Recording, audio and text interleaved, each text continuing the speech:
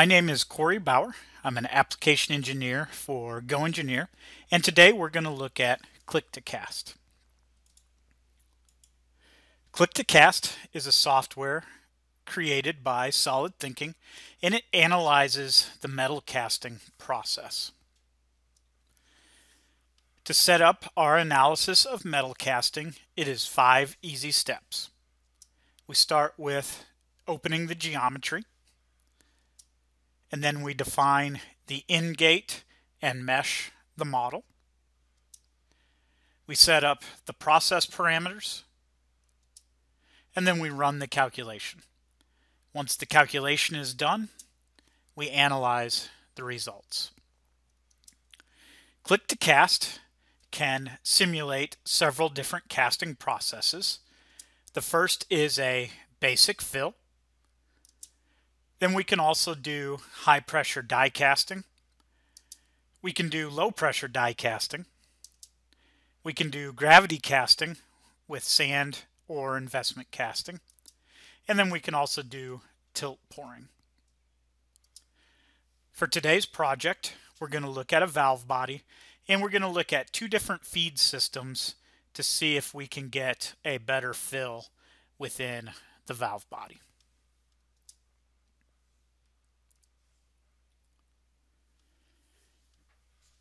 The first step of our project in Click to Cast is to open the CAD geometry. And this can be any STL file. So it doesn't matter what CAD system we have.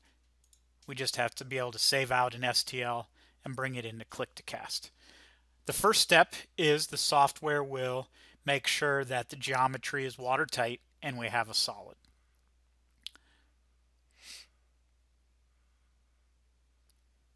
Once the geometry is analyzed and is watertight, we start our setup. The first step is to set the units that we want to use. In this case, we're going to use millimeters.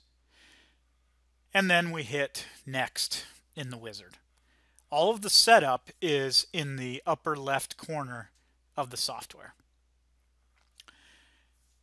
The first step is to create our in-gate and we have two different methods we can use to create the in-gate.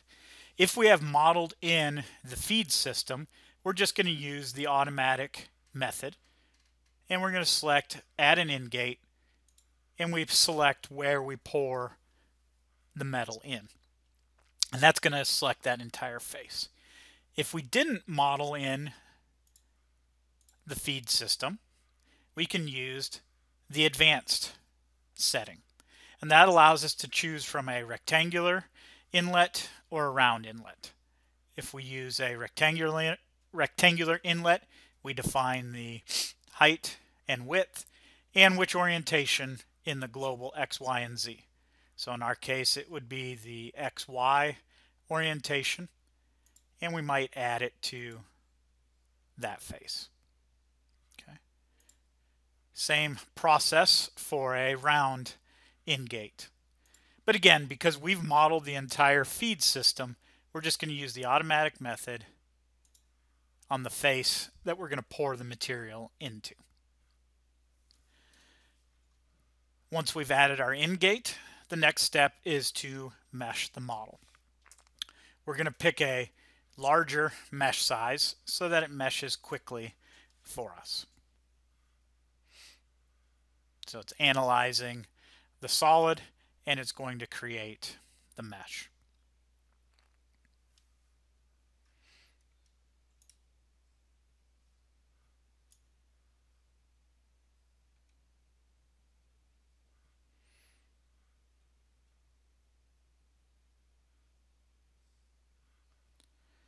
Once the mesh is created, we're ready to move to the next step, which is the materials and the processes. So the first material we define is the material that we're pouring into the mold.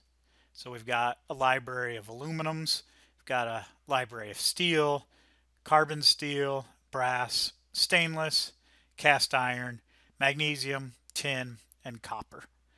For this part, we're going to use cast iron. And then we can choose from the different types of cast iron in our library. And it gives us a default melt temperature that we can adjust uh, if we want to uh, once we look at the results. The next step is the mold material. The mold can be steel, cast iron, a couple different kinds of, of sand, it can be a shell or silica. Okay. We're just going to use green sand in this case. And then we also define the temperature of that mold. For our processes, if we wanted to start with the basic, we only have to define the direction of gravity, which is in the z direction, and we can either define our in-gate velocity or we can define our filling time. Okay. If we want to look at some of the advanced capabilities, we just click on the advanced tab and then the first option is high pressure die casting. When we turn on high pressure die casting as the option, we need to know the first velocity and the second velocity. Okay. We also have a nice diagram to tell us how to calculate those if we need help. For low pressure die casting, we just have to build the pressure versus time for the injection of the metal.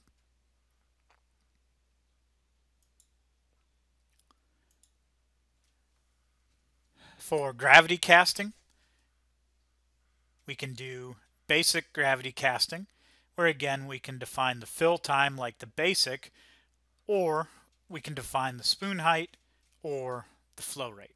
So we have a little more detail here than what we had with just a basic gravity casting. If we want to use tilt pouring, we also have a nice diagram to tell us the parameters. And we just need the rotation time, the initial angle, and the point at which we're rotating our mold. Investment casting, same as gravity casting, we can define the fill time, the spoon height, or the flow rate. In this particular analysis, we're going to stick with just the basic casting. Then we just hit next on our wizard. And from here we have two steps or two stages in the analysis. We can do just the filling, or we can do the filling plus the solidification. We are going to do both the filling and the solidification. And that is all that is needed for the setup. So we can just hit calculate.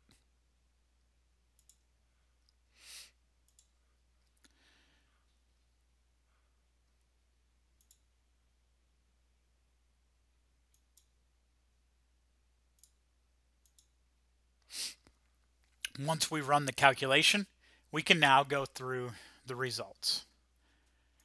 The first result we want to look at is our filling. So that's going to show us first if the entire mold fills with the metal that we want. And it's also going to give us an idea on um, whether we chose a, a good location for the in-gate. So we can animate the flow front and we can watch the mold fill. Okay.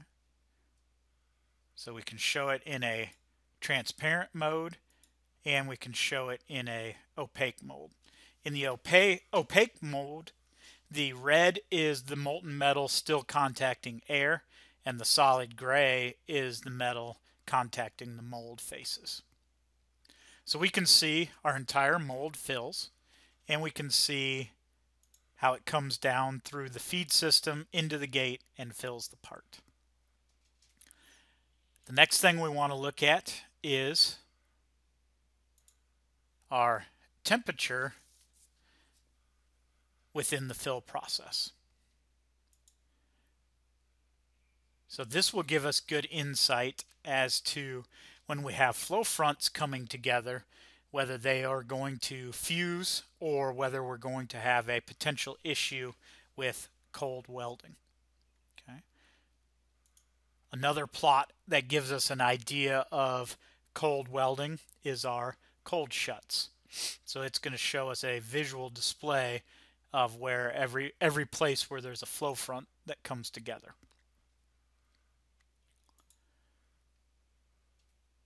Another way besides the flow front animation that we can see how um, turbulent our flow is, is our velocities.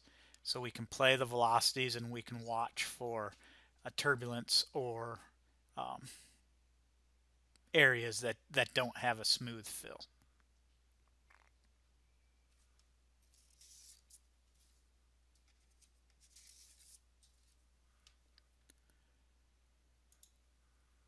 We can also look at any air entrapment.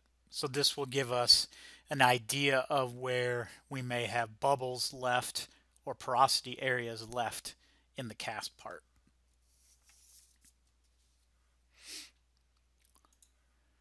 We can also look at a mold erosion prediction plot. And this will show us any areas in the mold where the velocity of the flow front is greater than 35 meters per second. So this any area that's highlighted in, in a color is an area that we might have a concern with erosion.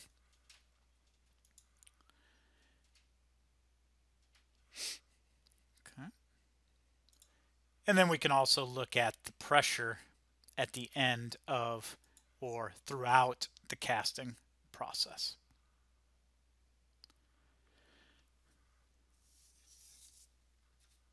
So those are the results of the filling analysis.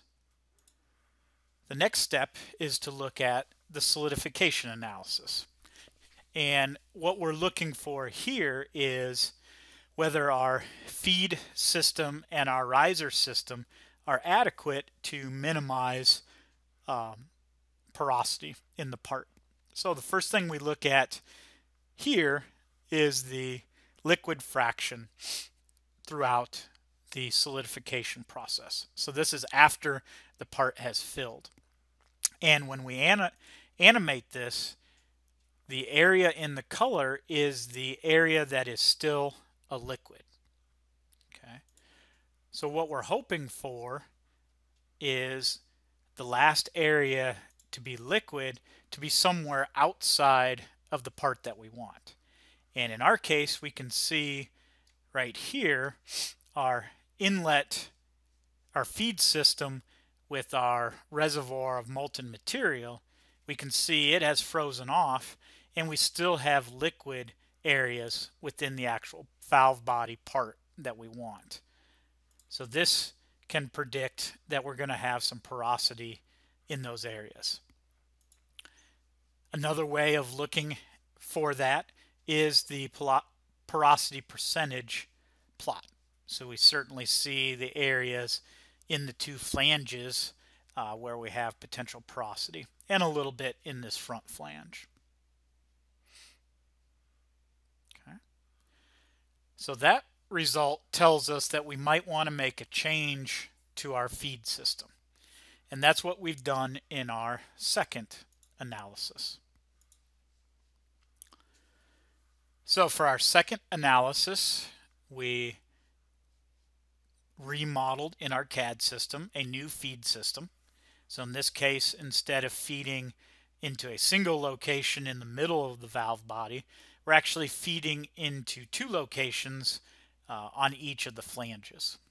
Okay, so we just used our CAD system, created new geometry, saved it out as an STL, and brought it back into Click to Cast. We also use the automatic uh, in-gate for the entire top face and we meshed it from there. So the first thing we're going to look at is our flow front. So we can see it fills a little bit better than before. uh, fills the flanges first and then fills the center of the valve body. We still have some cold shuts. And if we look at the velocity,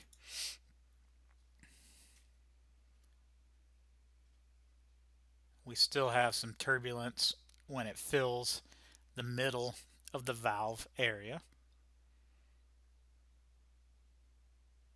Okay.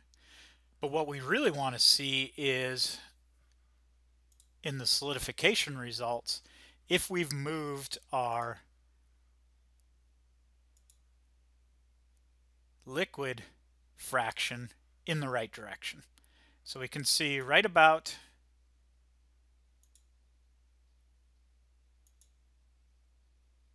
right about there is when our feed system, our gates freeze off. And we can see we've got a much smaller area that still has uh, liquid material in the valve body. So our change to our feed system has definitely made a positive improvement to the model. And if we look at the porosity percentage, we can see the same thing um, where we have much less porosity um, in our valve body. This has been Corey Bower, Application Engineer at GoEngineer, showing you Click to Cast by Solid Thinking.